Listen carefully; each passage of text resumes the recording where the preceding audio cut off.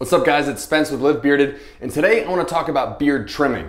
Now when it comes to having a beard, growing a beard, and grooming a beard, knowing how to trim a beard honestly might be the hardest thing to figure out. There's tons of things we can be talking about today when it comes to beard trimming, but for the purpose of this video, I wanna keep it super simple and talk about how to trim a beard neckline. All right guys, sometimes it's most helpful to learn what not to do. So when it comes to your beard neckline, do not trim this line in on your jawline. We see this happen all the time. It's honestly a mistake that a lot of guys make and it's terrible. It's gonna make your beard look way too thin, way too small, especially from the side profile. And really to further explain this, my chin is right here, right? If I were to shave on my jawline, my chin's actually right here, right? And it runs the back corner of my jaw. If I were to sh shave here on my jawline, it's gonna leave this tiny little beard and from the side profile, that's really just gonna be much too small. And when your beard's really short and you're just growing it out, it's super important to get these lines correct so that as your beard grows longer, your beard is set. So do not shave on your jawline. All right, so when you're ready to define your neckline, really it's pretty simple. You wanna trim this line in where your head connects to your neck. That's typically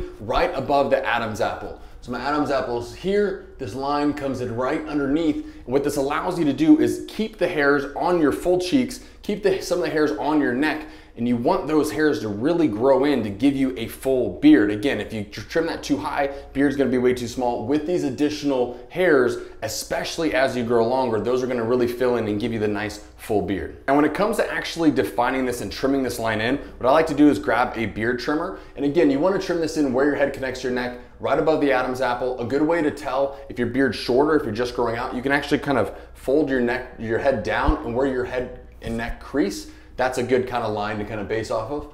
And what you really want to do is you want to start in the middle, uh, again, right about the Adam's apple, and then go across. More or less a straight line, and then when you get to the corners, you can choose whether you square those off or round those. But I'll uh, clean this up a little bit so you guys can see in real time kind of how I take care of my beard. And one thing to note is when your beard's shorter, this line is super important because everybody can see it. So all my guys out there growing a beard or with a shorter beard, getting this line right is hugely important as you're growing your beard and when it's shorter. As you get longer length, as your beard gets longer, you know, six months growth, eight months growth, 12 months growth, you're not even gonna see that line. So my guys out there growing long beards, take care of that line. And then once you get to a certain length and you don't really see it, then it's really up to you whether you continue to trim these hairs. If you're just growing your beard out and you're going to set your lines, obviously you're gonna do this for the first time. And then really it's personal preference as terms of how often you check back in and clean this up. For me personally, about once a week, once every couple weeks, I'll go in with my trimmers and really just try to clean this line up a little bit and then trim any of the hairs beneath my beard kind of growing into the, the chest beard. So uh, grab your trimmers and let's give it a shot.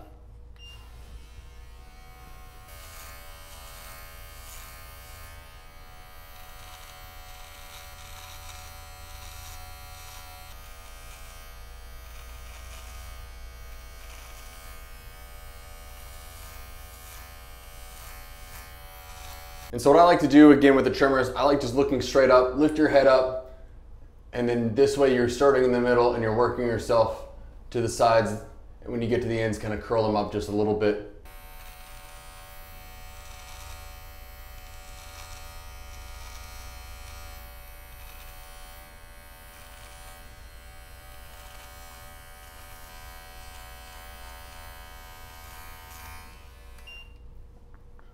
Guys, that's that's pretty much it. Honestly, it just takes a few minutes, but it's super important to get this right the first time, especially when you're growing your beard out. If you get this line right the first time, as you grow, your beard is gonna look great. If you have this line too high as your beard grows longer, you're gonna realize that it's too too high, and then you're gonna have to either play catch up, shave off, start over, which I don't recommend doing, uh, but you're gonna need to reset it and readjust later. So keep that line low, keep it on the neckline where it's supposed to be, I know it may seem simple, guys, but we hear from you all the time that this is a big issue and we see it all the time. And it's amazing the difference that, that it makes, that little bit in terms of how full your beard is gonna look with the additional neck hairs. So hopefully you found this helpful, guys. I know there's a lot that comes into trimming your beard, right? Fading and, and all these different things. We're here to support you. We got tons of other videos to check out. If you have any questions specifically, shoot us an email to support at livebearded.com. Send us a picture of your beard and we can actually show you where you should trim your lines in to help out. So hopefully you found this helpful. Let us know if you need need anything at all here at Live Bearded, our mission is to help beardsmen look, feel, and be their best. So let us know how we can support you. And as always, live bearded, brother.